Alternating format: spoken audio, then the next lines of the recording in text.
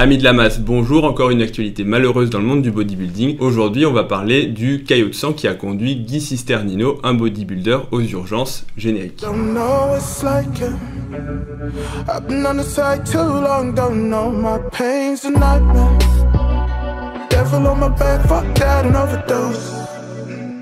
Récemment, on a pu voir sur Instagram et sur les divers forums et sites de musculation une actualité, celle de Guy Cisternino. Donc, c'est un bodybuilder professionnel qui est âgé d'une trentaine d'années, assez connu. Hein, je crois qu'il a plus de 300 000 followers sur Instagram, qui nous raconte son expérience qu'on va détailler, qui finalement a conduit au diagnostic de caillot dans le sang. En gros, un caillot de sang s'est formé au niveau de ses jambes. Aujourd'hui, on va essayer de, bah, en fait, euh, expliquer ce que c'est comme problème. On appelle ça une phlébite pour en fait donner des informations aux personnes qui postent, on va dire, des commentaires en disant mais qu'est-ce que c'est, je comprends pas, est-ce qu'il y a des facteurs favorisants, est-ce que c'est le dopage, est-ce que c'est le coronavirus comme il l'a dit, en tout cas essayer de démystifier un petit peu tout ça. Et euh, un peu plus que ça aussi pour que tous les pratiquants puissent en retenir les leçons, puisque c'est ça qui est important, pas forcément si vous avez une phlébite, ça on s'en fiche un petit peu, mais si vous avez des douleurs, vous allez voir, je vais vous donner quelques conseils en fait pour essayer d'avoir les bons, les bons réflexes et pas faire euh, comme il a fait lui, où finalement il a eu trois semaines de retard diagnostique. Donc première partie, on va détailler son histoire juste pour résumer. Deuxièmement, on va expliquer ce que c'est la phlébite, les facteurs favorisants, comment ça soigne, en gros qu'est-ce qui lui est arrivé. Et euh, troisièmement, bah, du coup, ce sera les conseils pratiques et en gros qu'est-ce que vous devez faire si la même chose, alors pas forcément une phlébite, mais si vous avez des douleurs, en tout cas quels sont les conseils à tirer de son expérience? Alors premièrement, son histoire, si on la résume, elle est finalement euh, assez simple. En gros, il nous raconte, il me dit voilà, j'ai fait une grosse séance il y a trois semaines, et puis je suis rentré chez moi, je suis sorti de la voiture, et puis j'ai commencé à avoir des grosses douleurs au niveau du mollet. Et euh, au début, il se dit, euh, bah, j'ai cru que c'était une crampe, ce qui est assez logique. On se dit, bah voilà, j'ai mal au mollet, ça fait mal, ça tire, ça peut être une crampe. Sauf que la crampe, normalement, en quelques secondes, en une minute ou deux minutes au maximum, c'est passé. Si la douleur dure plus longtemps, il faut se dire que c'est pas une crampe et que ça peut être quelque chose d'un petit peu plus sérieux. Donc là aussi, bon réflexe, il se dit, bah peut-être que je me suis fait une déchirure au niveau du mollet. Alors on y reviendra. C'est assez peu probable de se faire une déchirure en sortant de la voiture, mais à la limite, pourquoi pas. Donc qu'est-ce qu'il se dit? Il regarde son mollet, il dit bon ben il, a, il est rouge, il a gonflé, il est gros, il, enfin triplé de volume peut-être pas en tout cas, sinon ce serait vraiment le secret de la masse pour les mollets. Mais euh, il se dit il y a quelque chose qui va pas, c'est bizarre, la douleur ne passe pas. Donc qu'est-ce qu'il fait? Il va voir un professionnel de la santé, je crois qu'il dit que c'est un kiné ou un ostéopathe, qui euh, va lui faire des massages en gros pour essayer de détendre son muscle, son mollet, et euh, voilà. Il nous raconte que temporairement ça le soulage, sauf que le lendemain les douleurs reviennent, son mollet est toujours aussi gonflé, donc il reconsulte la même personne qui va cette fois-ci lui faire une thérapie à base d'ultrasons. En gros, ça essaie de relâcher le muscle par divers techniques, massage, ultrasons, etc. Et donc là, il dit bah, qu'à nouveau, ça l'a pour euh, une période de temps assez courte, puisqu'il dit 2-3 jours.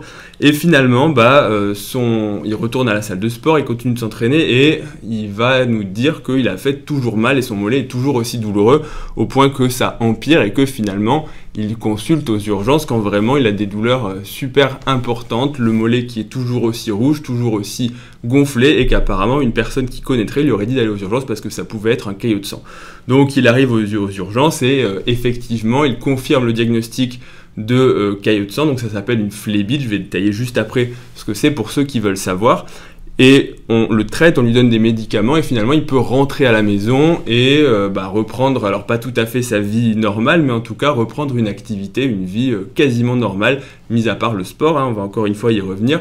Et la dernière chose importante, c'est que finalement, a posteriori, puisqu'il nous partage son expérience, il avait déjà posté quand il était aux urgences avec euh, sur son brancard en fait en disant voilà ce qui m'arrive, voilà ce qu'on suspecte. Et forcément quand il y a un bodybuilder, bah, les gens qu'est-ce qu'ils disent? Ils disent oui bah les produits, les produits. La question est-ce qu'il a abusé du code Marvel 10 et est-ce qu'il s'est gavé de compléments alimentaires qui l'ont tellement transformé en, bodybuilder massif que bah forcément on sait que les compléments alimentaires c'est dangereux. Bon alors blague pour ceux qui n'ont pas compris, mais voilà est-ce que c'est ça qui a conduit au fait d'avoir un caillot de sang ou est-ce que c'est comme il le dit après le coronavirus? Eh bien on va voir ça dans la deuxième partie. Donc la deuxième partie, la phlébite, le caillot de sang dans les jambes, qu'est-ce que c'est? Si on résume la circulation, je vous l'ai déjà expliqué plusieurs fois, mais pour encore une fois la résumer de façon très rapide, le cœur, il pompe du sang, on parle d'artère quand les vaisseaux partent du cœur puis vont jusqu'en périphérie, donc les artères amènent du sang oxygéné, puis ça passe au niveau un petit peu de tous les organes, le cerveau, les reins, le foie, les muscles,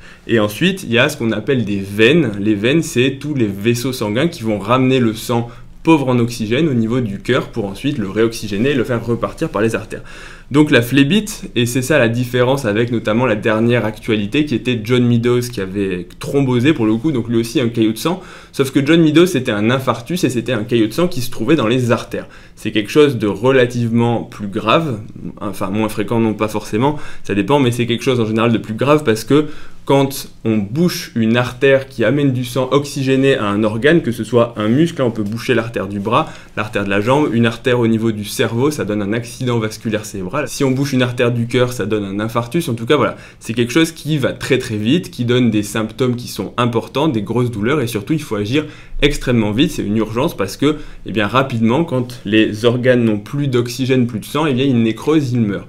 À la différence, les veines, ça ramène le sang désoxygéné, donc pauvre en oxygène, jusqu'au niveau du cœur. Donc ça veut dire que si on bouche une veine, il va y avoir des conséquences, hein, encore une fois, on va détailler juste après, mais c'est un petit peu moins urgent, pas forcément puisque ça peut donner dans des tableaux graves le décès, hein, comme il le dit, mais on va dire que dans la plupart des cas, c'est un petit peu moins urgent parce que bah, forcément, il y a moins de conséquences et il y a surtout pas de ce qu'on appelle de l'ischémie. L'ischémie, c'est encore une fois, c'est quand on manque d'oxygène, on manque de sang.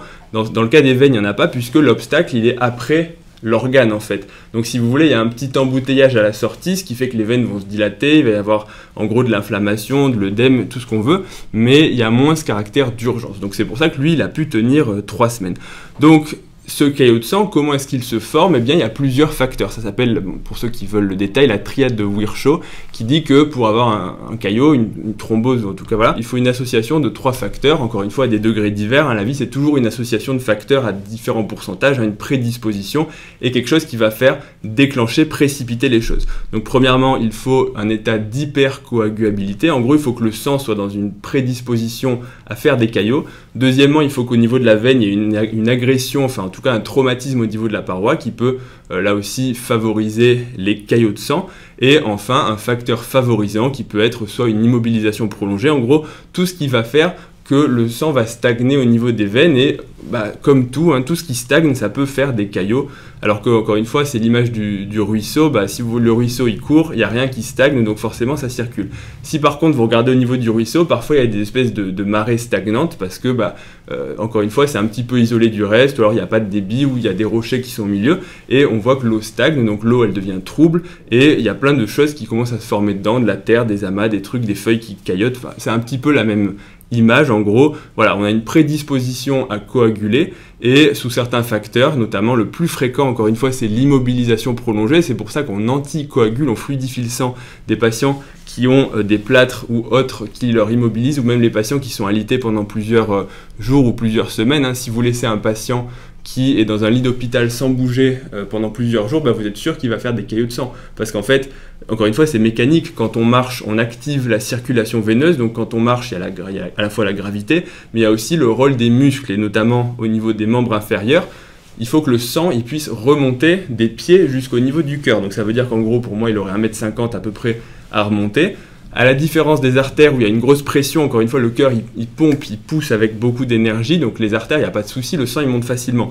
Mais les veines, c'est l'inverse, il n'y a plus beaucoup de pression, puisque après avoir été puisé l'oxygène, le sang au niveau des organes, eh bien les veines ont, une faible pression. Si vous regardez bah, les veines périphériques, vous pouvez appuyer dessus, et très facilement on peut bloquer le retour veineux. C'est pour ça que quand l'infirmière vous fait une prise de sang, elle met un garrot, tout de suite la veine gonfle parce que vous aurez bloqué en fait la, veine. Vous aurez fait une pression avec le garrot qui est supérieure à la pression au niveau de la veine. Et c'est très facile à faire parce qu'elle est faible. Encore une fois, si vous laissez votre bras pendre, eh bien vos veines vont un petit peu se dilater parce que encore une fois, il y a la pression, la gravité qui fait que le sang va avoir plus de mal à remonter. C'est aussi pour ça que euh, les varices, hein, c'est la dilatation des veines, ça survient principalement ou quasi, quasiment tout le temps en fait au niveau des membres inférieurs, des jambes. Quand vous voyez des gens qui ont des veines dilatées au niveau des mollets, encore une fois, les veines tortueuses et dilatées, ça s'appelle des varices, c'est parce que c'est la gravité qui fait justement que les veines vont se dilater chez certaines personnes prédisposées, ça va créer des varices. Donc, encore une fois, la gravité diminue. Mais quand on fait du sport, quand on, marche, eh les mollets, ils vont se contracter et en se contractant, eh bien, ils vont pousser sur les veines progressivement et donc ils vont favoriser le retour au niveau, euh, bah, de la circulation, au niveau du cœur. Donc quand on est allongé, ça va faire euh, de la coagulation par justement une diminution de la circulation veineuse. C'est assez euh, facile à comprendre. Donc ça, ce sont des facteurs favorisants. Maintenant, qu'est-ce qui va se passer? Donc sous l'action de ces différents facteurs, un caillot de sang va se former au niveau des jambes.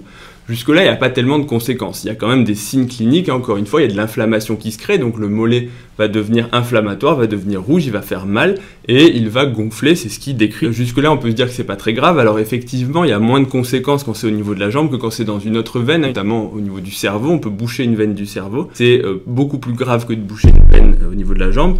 Mais qu'est-ce qui va se passer ensuite? Le, risque en fait de la phlébite, parce qu'il dit ouais j'aurais pu mourir, j'aurais pu faire de l'épilepsie, j'aurais pu convulser. Alors c'est pas tout à fait vrai, oui et non.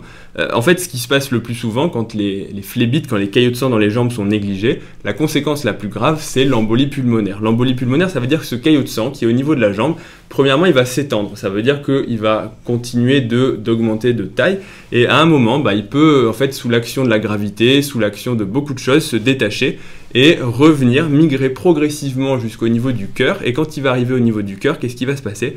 Eh bien, il va arriver dans la circulation pulmonaire. Alors j'explique un tout petit peu, encore une fois, les veines reviennent au cœur droit. Le cœur droit, il reçoit le sang désoxygéné et il l'envoie au niveau des poumons pour aller s'oxygéner par le biais de l'artère pulmonaire. Donc ce caillot de sang, il va suivre cette circulation, donc veine, cœur droit, artère pulmonaire, sauf qu'à un moment donné dans l'artère pulmonaire, bah, ça va se rétrécir hein, parce que toute la circulation est faite comme ça. Il y a des gros vaisseaux, puis des, vaisseaux un peu plus petits, et puis à la fin on arrive au capillaire. Donc à un moment, bah, c'est une histoire mécanique. Le caillot, il a une certaine taille, il va traverser dans les artères, et puis quand la, taille de l'artère va devenir trop petite pour qu'il passe, bah, qu'est-ce qui se passe hein? Il se bouche. Et quand il se bouche, bah, qu'est-ce qui se passe? Le sang ne circule plus, donc ça fait des problèmes respiratoires, parce qu'en gros, il y a une partie du poumon qui est moins bien perfusée, donc il ne va pas s'oxygéner, le sang ne va pas s'oxygéner si le caillot de sang bouche. Mais dans les formes les plus graves, si le caillot commence à être obstructif et à boucher la totalité de l'artère pulmonaire, ben, en gros, le cœur, il va, pomper, sauf qu'il y a un obstacle à la sortie. C'est comme si le tuyau d'arrosage t'appuie dessus, bah, qu'est-ce qui se passe? Il se dilate, et à un moment, bah, euh, pouf, il explose.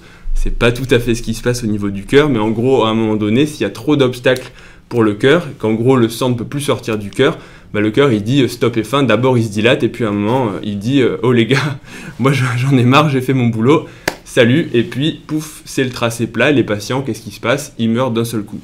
Parce que bah, en fait le cœur s'arrête, le cœur il se met sur off, il dit bon bah je peux plus rien faire, au revoir. Donc effectivement, avec une phlébite, ça peut partir de là, on peut mourir.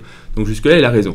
La seule chose qu'il dit, c'est quand il dit j'aurais pu faire un, un, AVC ou en gros le caillot de sang, il aurait pu partir n'importe où c'est pas tout à fait vrai dans le sens où en fait le caillot de sang il s'arrête dans la circulation pulmonaire. Donc en fait le plus loin où il peut aller c'est en gros l'artère pulmonaire, les petites artères éventuellement s'il est petit, mais dans tous les cas il ne passera pas dans le cœur gauche puisqu'il sera arrêté au niveau des poumons donc il peut pas partir au niveau du cerveau, euh, des jambes. Donc en gros il peut pas partir dans ce qu'on appelle la circulation systémique.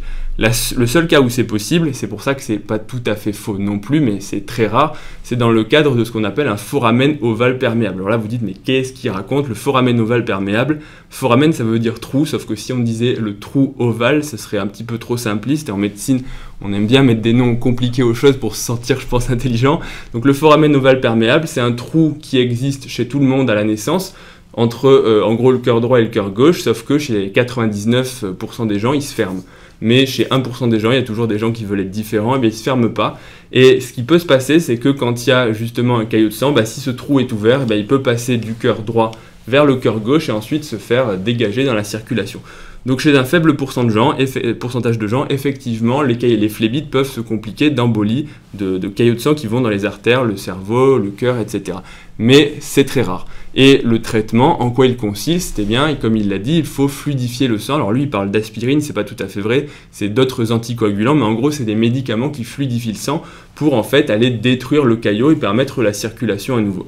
À la fois, ça détruit le caillot et en même temps, ça prévient les récidives parce que ça veut dire que si il a eu un caillot de sang, eh bien, il a un risque d'en refaire. Donc en fait, c'est un traitement qu'il faut poursuivre pendant assez longtemps pour euh, justement éviter qu'il y ait d'autres caillots qui se forment. Parce qu'on sait que si on l'arrête au bout d'une semaine, eh ben, d'autres caillots qui vont se former. En tout cas, c'est une probabilité euh, assez forte. Alors maintenant, euh, pourquoi est-ce qu'il a fait un caillot de sang? Alors déjà, tous ceux qui disent les stéroïdes, effectivement, ça peut donner des thromboses artérielles, c'est ce dont on a parlé pour John Meadows, mais dans le cadre des thromboses veineuses, bon, c'est pas vraiment décrit si ça a participé, en tout cas, on va dire que c'est vraiment un facteur qui est minime. Déjà, on ne sait même pas en plus s'il en prend ou pas. Maintenant, est-ce que c'est le coronavirus? Alors, la réponse est très probablement oui, puisqu'on sait que le coronavirus, une infection à coronavirus, c'est un facteur de risque mais majeur de thrombose et d'hypercoagulabilité. Tous les patients en réanimation, on s'est rendu compte très rapidement que quand ils mouraient pas d'infection, enfin de problèmes respiratoires, de détresse respiratoire aiguë, eh bien ils allaient se compliquer de thrombose et faire des embolies euh, pulmonaires massives et mourir justement de ces caillots de sang. Donc en fait, le coronavirus, effectivement, c'est très probablement ça s'il était porteur qui a favorisé la phlébite. Et encore une fois, l'autre chose aussi, c'est le sport. Et ça, c'est important de le préciser, c'est que chez les sportifs, ça peut arriver aussi les phlébites. Hein, c'est pas très fréquent, mais un effort violent, un traumatisme au niveau des membres inférieurs, ou même certains sports, bah, justement comme la musculation avec les manœuvres de Valsalva qui font de l'hyperpression abdominale, ça favorise la stase sanguine, puisque quand on pousse, on, on retient la respiration, on bloque et on pousse, et bien justement, on va bloquer le retour veineux jusqu'au niveau, euh, du, au niveau du cœur, en fait, hein, parce que l'hyperpression va comprimer les veines et justement va faire de la stase sanguine, c'est-à-dire en gros va bloquer le flux sanguin et tout ce qui va être bloqué va stagner et donc va favoriser la coagulation du sang. Donc pour peu qu'il ait fait une grosse séance de jambes, alors il dit que c'était le dos, mais euh, voilà, ça peut justement favoriser. Troisième partie maintenant, quels sont les messages à retenir et à mon sens les peut-être les erreurs qu'il a fait? Premièrement, c'est que je pense tout problème, on va dire important, qui est invalidant, toute douleur, en tout cas tout gonflement, doit vous amener à vous poser la question de qu'est-ce que vous avez. Attention, je pense aux autodiagnostics, de, de regarder, voilà, si vous voyez que le mollet, votre mollet il a triplé de volume, et que vous vous dites, bah, c'est peut-être une crampe, c'est peut-être une déchirure, en fait, vous en savez rien. Enfin, c'est pas méchant ce que je dis, mais il faut faire très attention aux autodiagnostics. Alors, le plus souvent, vous aurez raison parce que l'argument de fréquence, si on a mal, bah oui, ça peut être souvent une tendinite, euh, une blessure, un traumatisme, un bleu, voilà, jusque-là, il n'y a pas de problème. Sauf que dans un nombre non négligeable de cas, bah, vous allez vous tromper, hein. je dis vous, mais en fait c'est normal parce que ça nécessite d'avoir des, connaissances, des compétences et de faire un diagnostic. Encore une fois, c'est un métier, je ne pourrais pas réparer ma voiture parce que je ne suis pas garagiste, et euh, si je commence à le faire, ça va donner n'importe quoi. Alors peut-être que de temps en temps, si c'est un boulon qui est évidemment desserré, que je le resserre, ça va marcher, mais pour peu que ce soit pas ça, je vais faire n'importe quoi. Donc faites super gaffe et attention aussi au diagnostic sur Internet. Je suis choqué parce que souvent, des fois, sur les, commentaires des vidéos, il y a des mecs qui me racontent leurs problèmes. Alors en plus, je réponds pas parce que c'est inter... enfin, je peux pas faire de la médecine par commentaire YouTube, c'est n'importe quoi. Et, les mecs racontent leurs problèmes et tu te dis, mais euh, à un moment, faut, faut consulter un médecin. Je veux dire, tu peux pas aller sur une vidéo YouTube, lancer une bouteille à la mer et espérer que quelqu'un va te répondre. Enfin, c'est dangereux, c'est ta santé. Donc, si tu as un problème, si ton mollet est triple de volume et que ça passe pas tout de suite, bah, il faut consulter aux urgences au moins pour avoir un diagnostic. Après, si, si bah, effectivement, si c'est une tendinite, cool, euh, je veux dire, ça va passer. Et maintenant, ça peut être des choses plus sérieuses. Il y a une autre liste, enfin, y a il y a des diagnostics différentiels qui sont plus graves et qui peuvent être euh, bah, dangereux si vous ne faites pas le diagnostic à temps. Parce qu'encore une fois, son, son, ça flébite.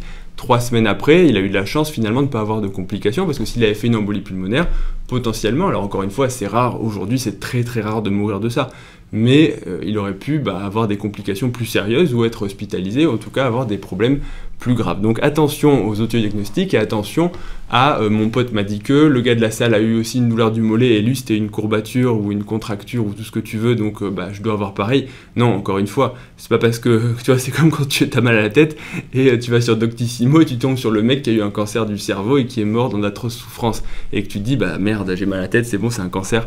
Non, heureusement, le plus souvent en fait les gens se donc attention à la médecine par internet, à la médecine de vos potes.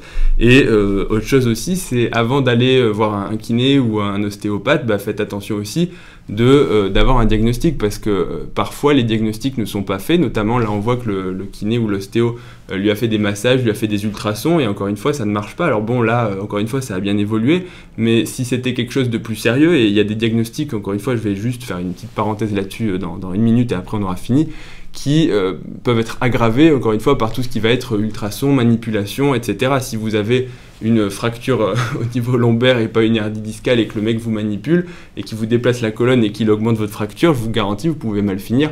Il y a eu des cas hein, de, personnes euh, paralysées, section médulaire, enfin c'est très rare, heureusement, parce que la nature est bien faite et on est globalement assez résistant, mais, euh, faites attention quand même.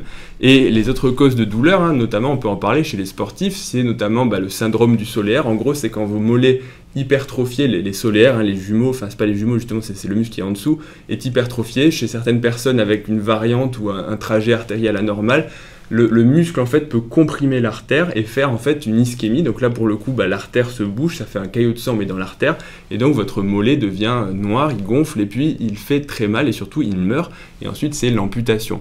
Autre chose aussi, c'est qu'il peut y avoir des kystes au niveau euh, des muscles, au niveau de l'articulation, les kystes poplités, et ça peut aussi gonfler, être douloureux, être rouge. Parfois ces kystes peuvent se rompre, donc pareil, hein, ça fait d'un seul coup un gonflement au niveau du mollet et quelque chose qui fait très mal. Et encore une fois, ça peut être des urgences, un hématome musculaire. Si vous rompez une, rupture d'une artère ou d'une veine, ça commence à saigner. Pareil, ça peut faire euh, gonfler par un, hématome. Il y a aussi des ruptures, comme il l'a dit, tendineuses ou musculaires. Encore une fois, ça c'est assez facile de faire le diagnostic. Et si vous pensez à une rupture tendineuse, mais que votre muscle n'a pas bougé, possible si elle est partielle ou euh, si c'est un, seul des chefs, mais en général ça se voit et en général ça part pas tout seul. Ou alors, encore une fois, des trucs plus graves, une rupture du, fascia, une rupture de la peau névreuse, ça peut arriver, ça peut être grave. Donc euh, faites super attention au diagnostic et je pense que ce sera le message principal de cette vidéo.